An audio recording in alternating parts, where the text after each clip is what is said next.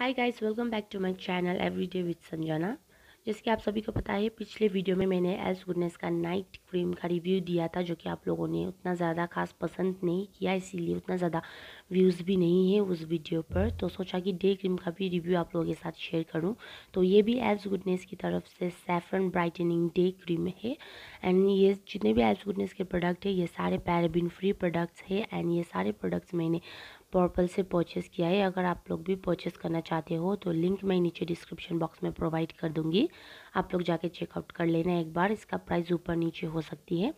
इसका जो M R P यहाँ पर लिखा हुआ है, यहाँ पर नाइन्टी नाइन रुपीज़ लिखा है, लेकिन ईजिली आपको ऑफर्स में सिक्सटी सेवेंटी रुपीज़ के अराउंड ये प्रोडक्ट आपको मिल जाएगा।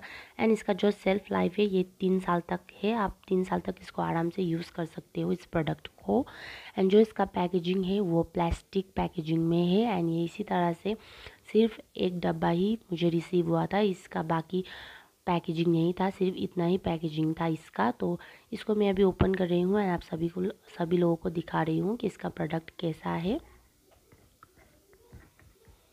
ये बहुत ही ट्रैवल फ्रेंडली प्रोडक्ट है एंड इसको आप कहीं पर भी कैरी करके इजीली ले जा सकते हो इस प्रोडक्ट को एंड ये मैंने 15 डेज़ हो चुके इस प्रोडक्ट को यूज़ करे हुए एंड मुझे काफ़ी पसंद आया एंड इसका जो एक कॉन्स है वो मैं आप सभी के साथ शेयर करना चाहती हूँ जो कि मुझे बहुत ही बुरा लगा इस प्रोडक्ट के बारे में। तो ये बहुत ही ज़्यादा क्रीमी फॉर्म में भी नहीं है लिक्विड फॉर्म में भी नहीं है। तो ये कुछ इस प्रकार के कंसिस्टेंसी में है जो कि मैं आप सभी लोगों को लगा लगा के भी दिखा रही हूँ। एंड ईज़िली अपने हाथों पर ब्लेंड भी हो जाती है आराम से आप चाहे तो देख सकते हो। बहुत ही इजीली ब्लेंड होती है ये प्र, मतलब ये क्रीम एंड अगर आप लोग की स्किन बहुत ही ज़्यादा ड्राई है बहुत ही ज़्यादा ड्राई तो आप इस प्रोडक्ट को परचेज़ कर सकते हो। लेकिन अगर आप लोग की स्किन ऑयली है तो प्लीज़ आप लोग इस प्रोडक्ट को परचेस मत करिएगा, क्योंकि यहाँ पर लिखा है ऑल स्किन टाइप्स लेकिन ये ऑल स्किन टाइप्स नहीं है।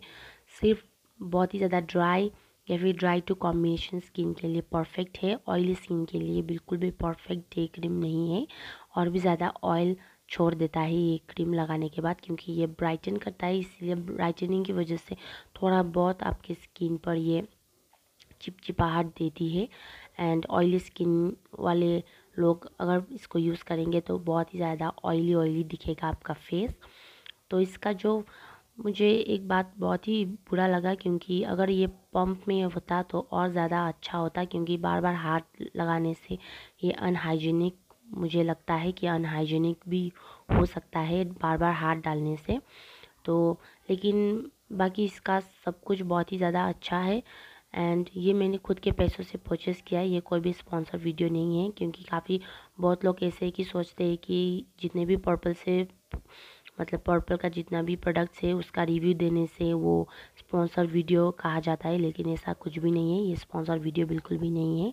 तो अगर आप लोगों को मेरा ये वीडियो हेल्पफुल लगे तो प्लीज़ मेरे चैनल को लाइक शेयर सब्सक्राइब ज़रूर कर दीजिएगा। एंड साथ ही में बेल आइकन को भी प्रेस कर दीजिएगा, ताकि आप लोगों को मेरी ऐसी वीडियोज़ की नोटिफिकेशन मिलती रहे। Bye bye